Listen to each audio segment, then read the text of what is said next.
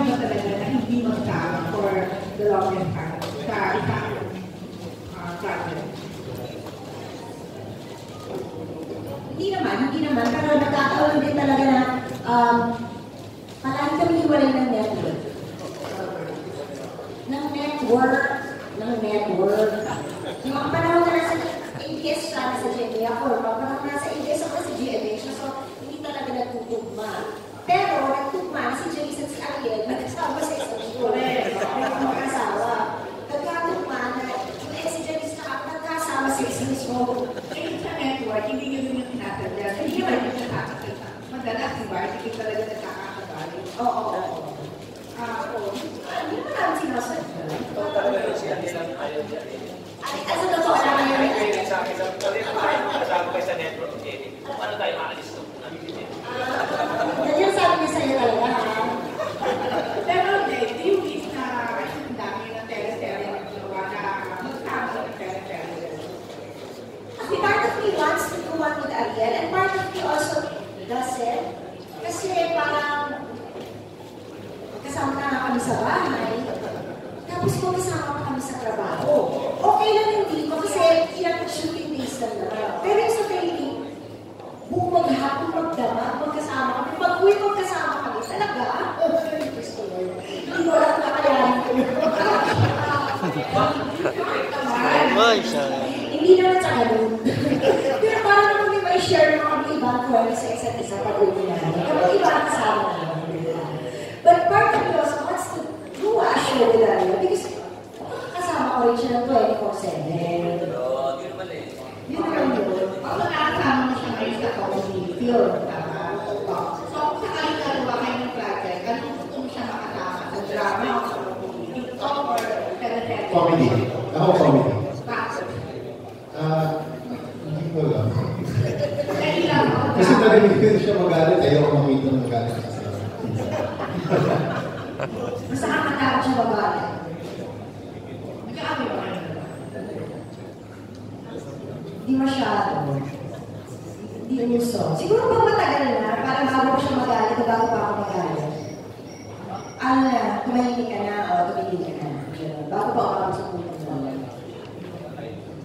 Ha? Idol mo siya. Ikaw din idol ka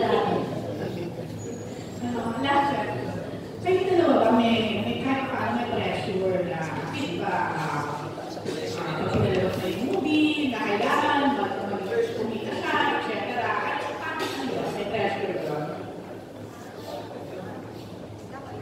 Um, we want to do, we want the movie to do well because there are people who finance it that uh, nagtiwala sa akin to produce uh, a good movie.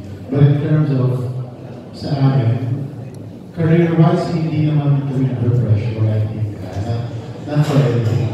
Uh, kasi we, as an artist, I think the primary uh, reason in, in doing a movie is you want to always uh, put out good quality shows or movies or songs na hindi mo nahihiya later on when you're older. So I think that's one, well, that's the way.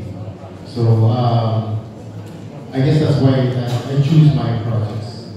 Um, uh, how do I do I choose it uh, well? yeah, I think that's why. But well, in terms of pressure, a little bit of pressure, but because we want the movie to do well.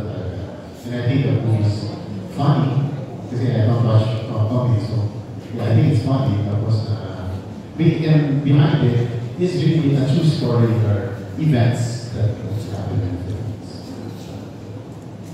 Ah, Jenny? Ah, komedyante. Medyo nire-nervous siya nung umpisa talaga. Parang feeling uncomfortable sa mga kote. Parang, ay, kaya ko Thank you.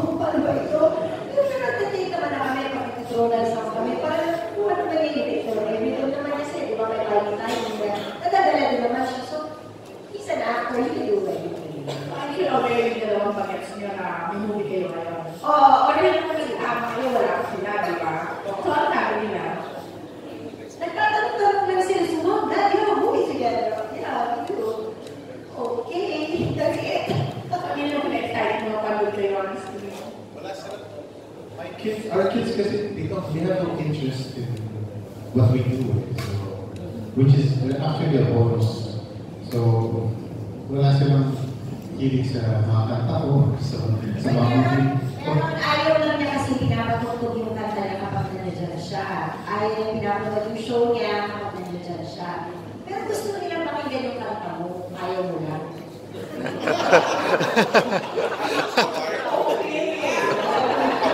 Thank you. Good luck. Maraming salamat.